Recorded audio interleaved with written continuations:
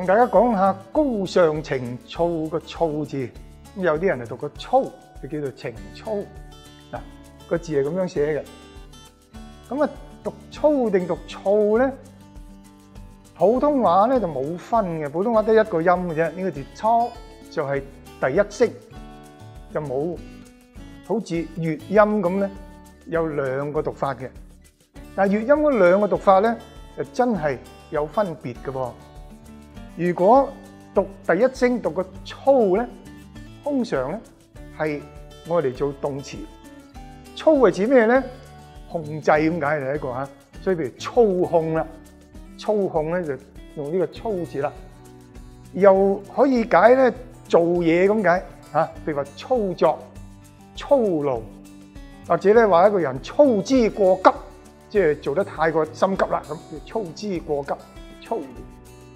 咁啊，亦都可以指體力上邊嘅嗰個誒操練，所以就有呢個誒，譬如話體操啦，譬如操場啦，喺你做嗰啲呢個操練嗰個地方叫操場啦。如果將呢個字作為名詞，解作德行咁解咧，就應該讀個操字嘅。咁所以咧，就所謂操守，譬如話道德操守、專業操守，就讀個操字啊。情操亦都係讀個操字，應該讀個操字。所以有啲人話咧，嗰個三三國嘅人物啊，我哋好多時咧聽讀佢個名啊，讀曹操。有啲人話唔應該讀曹操，應該讀曹操。點解咧？因為佢嘅字咧，佢個別字咧就叫做孟德，乜德？同埋操咧係同埋一樣嘢嚟，咁所以咧就既然佢個字叫做孟德咧，佢個名亦都應讀操，就係曹操就唔係曹操咁。咁啊無論點咧，我哋喺粵音裏邊咧就應該有個咁分別嘅嚇，即係正常誒用得比較多嘅咧當動詞咧就讀個操字，如果指德行咁解咧就應該讀個操字。咁呢個字點嚟嘅咧？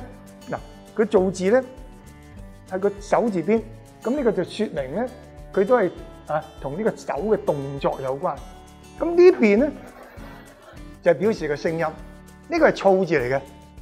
嗱，呢個字咧係好清楚嘅一個會意字。呢個木就係指一棵樹啦，上面三個口咧就好多雀仔喺度咁解。